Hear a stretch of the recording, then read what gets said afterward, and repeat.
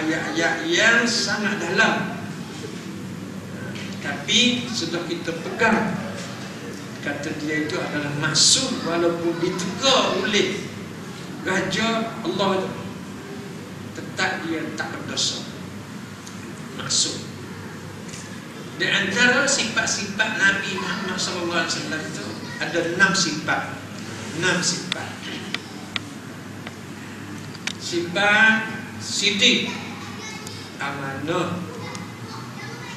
Tabligh fatonah okey? Itu empat sifat kita tiga ke sidik orang yang sangat beramanah.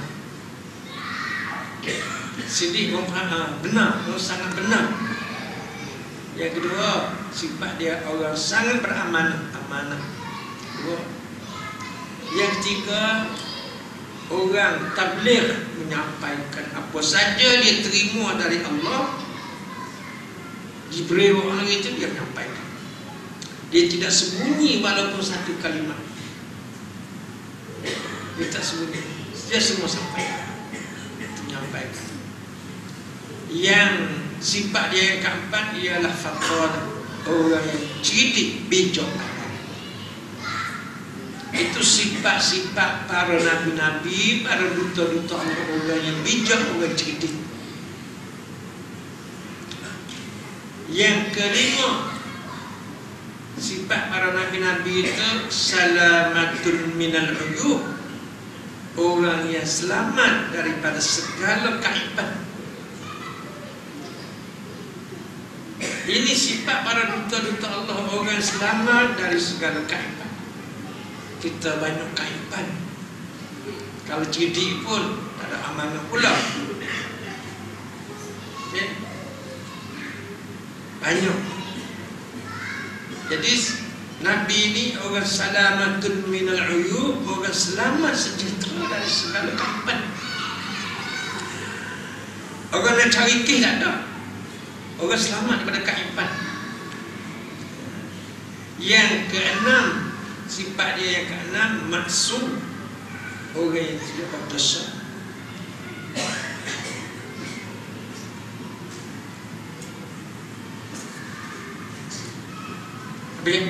enam sifat eh? Itu Sifat Nabi SAW Itu ditegur Ditegur Wala ta'jal bil Quran Jangan. Janganlah kamu bertergesa-gesa membaca Quran. Sebelum wahyu disempurnakan wahyu padamu Jibril mari dia mengajar Baca wahyu daripada Allah tu. Dengar, perhati Beri fokus kepada apa yang kita ajar Jangan gerak lidah kamu itu salah satu cara kita nak dapat ilmu. Eh? Kadang-kadang kita ni duduk dalam satu majlis ni nak tanya itu, nak tanya ini lah begitu. Begitu pun dah. Start tak sempat mengajar lagi hak kita nak tanya itu semuanya akan terjawab. Sebab itu kita tak dapat ilmu satu dan tak ada berkat. Sebab itu Allah tegur Nabi ni jangan kamu tergesa-gesa nak engkau pandai membaca Quran. Sebelum disempurnakan wahyu kepadamu. Dengar baik-baik wahyu baca satu, satu, satu, satu, satu. Sehinggalah selesai wahyu itu. Diberi mengajar satu satu sehinggalah wahyu itu selesai.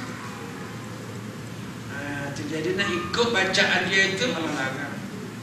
Berhati je Begitu kuat. Sebab kita Tok Guru mari dia mengajar. Dia nak mengajar semua orang baik lah ke?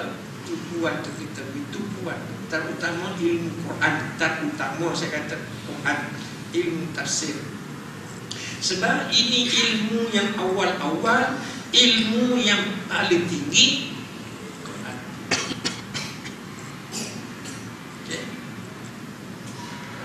kita tergesa-gesa kita baca apa semua itu. Kalau kita tak nampak lah kuasa kalau kita baca tak betul lepas juga lepas lah kau ah, kan? Eh, so, jadi sebelum wahyu tu tapi Nabi apa ni Jibril kata wakul Rabbi zidni ilman. Jangan tergesa-gesa minta Allah. Jibril kata wakul katakanlah rabbi zidni ilma. Ya Allah tambahkanlah pada aku ilmu. Ha, itu minta tu Tuan-tuan dan puan yang dirahmati Allah Saya masih ingat lagi semasa umur 9 tahun lebih kurang itulah Di Mekah. Jadi saya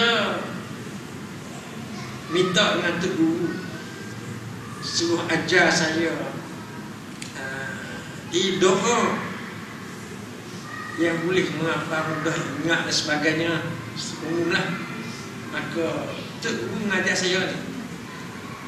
Rabbi zidni ilma. Seperti mana Jibril hidup mengajar Nabi?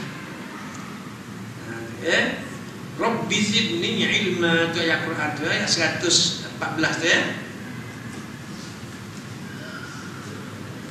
Minta tambah lagi Bila baca ni ha, Kata dia baca lah Waktu yang paling makbul doa tu Di antara dua khutbah Jumaat. Kepuan pertama Terimam duduk sekejap dalam seseminit tu Ataupun dua minit Baca doa. Doa yang sangat makbul. Baca Rabbi zidni ilma Pendek sangat Tambah lagi lah. Dia ambil daripada mula lagi Minta dengan doa Nabi Musa pula. Doa Nabi Musa dalam surah Tuhan juga. Ayat 24 no 25 ayat 25 24 tu perintah supaya dia pergi kepada raja Firaun sana apabila Allah perintah kepada dia supaya dia pergi kepada Firaun raja yang derhaka raja yang mengaku dirinya Tuhan juga tu maka Musa takut nak pergi. Itu ayat 24 tu.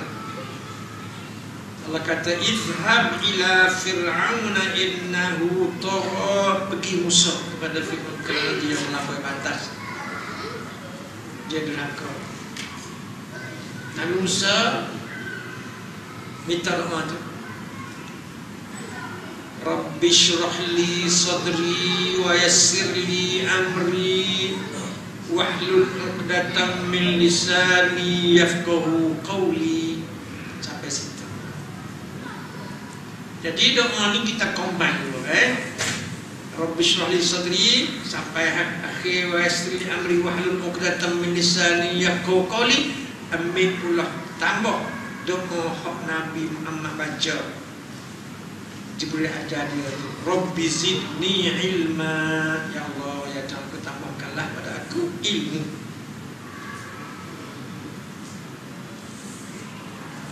Tak? Doa ni Doa ibadah. Doa-doa ini ibadah Doa ibadah Minta. Kita tak rugi. Islam ni Tak rugi pun. Kita minta tu nama ibadah dah. Minta tu tak ada rugi dah. Tak minta tu rugi. Doakan Allah berkah. Allah berkah orang tak minta. Bukan suka wakil rakyat ni. Wakil rakyat minta dia tak suka Tak minta dia suka. Itu wakil rakyat Allah dah minta tu dia suka. Tak minta tu dia mereka Ha ni malik ha, Ini raja yang maha kaya Yang maha agung. Sebab itu Nabi Musa Apabila Allah perintah pergi pada Fir'aun dia minta Rabbi syrah li sadri. Ya Allah ya Tuhan aku lapangkan dada Sebab Manusia bila dada tu lapang Dia boleh bincang terbuka pikiran. Akal pikiran luas. Wa yassir amri Minta Allah memudahkanlah semua urusan aku. Kita urusan banyak. Semua urusan banyak. Semua tu minta Allah mudahkan urusan anak masuk sekolah, masuk universiti, kita urusan perniagaan kita, urusan banyak sangat urusan. Minta Allah memudahkan urusan. Wahlul uqdatan min lisani yafqahu dan minta Allah lepaskanlah kekakuan lidah kita cakap tak pandai. Eh, cakap terkalekan bercakap orang tak faham itu alamat kata lidah. Tak betul. Dan terutama Nabi Musa lidah dia memang cedera. Daripada bayi lagi cedera lidah dia maka bawa api. Semasa dalam astaga firman dulu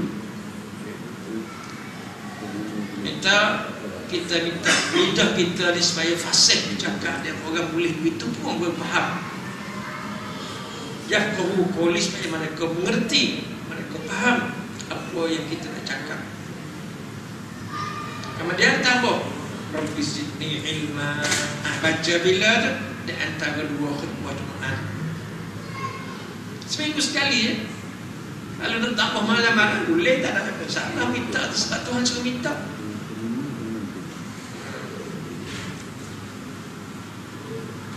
Mana dalil minta? Banyak.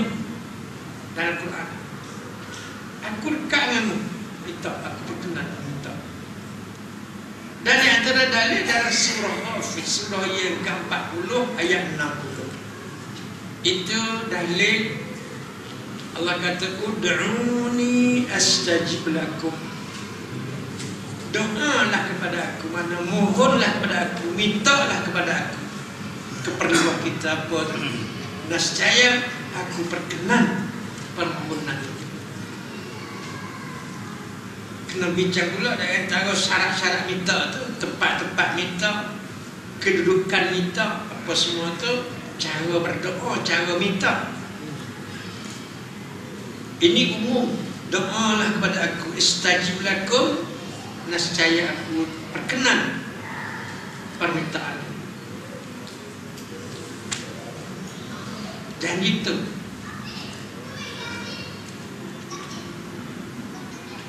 Kata kita nak minta dia tak beri. Kemungkinan. Kurang. Bagi kita Bukan bagi dia dah dari tak terdak Kita minta sudah.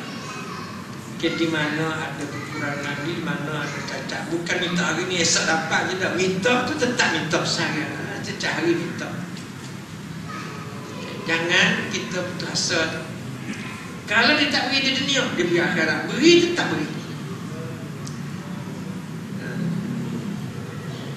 Sebab itu innal ladzina yastakbiruna an ibadati sayadkhuluna jahannama dakhirin. Jadi Allah orang-orang hamba-hamba dia yang takabur sombong itu yastakbirun daripada kalimah proud takabur sombong proud Orang-orang yang sombong tak minta dengan dia Maka akan dimasukkan dalam Al-Quran keadaan hina-hina Susah sikit pergi cari tu batin minta tak batin Itu dia berkau sana. Namanya syirik. Orang tak minta dengan dia. Kita minta dengan Tok Cak Hadai. Kita minta dengan Tok Bomo Tok itulah Tok ni Tok apa semua. Ngalah tak minta ha, tu dia membuka sangat. Orang tak gantung dengan dia. Ha, gitu dia eh? Sebab tu janji dia akan dimasukkan dalam neraka dalam keadaan yang hina-hina. Baik. Jadi kita kesimpulan mudah je kita minta je. sebab itu Allah tegur Nabi. Jangan kamu tergesa-gesa baca Quran nak lekah pandai sebelum wahyu sempurna dibaca padamu oleh Jibril. Ha, Jibril minta kata Kul kata kelai Muhammad Rabbi zidni ilma. Minta Allah tambahkan ilmu. Sebab itu Semua ilmu Quran ini Dia terima Dia pada Jibril Dia reti semua Dia reti semua Kita hanya membesarkan kita faham insyaAllah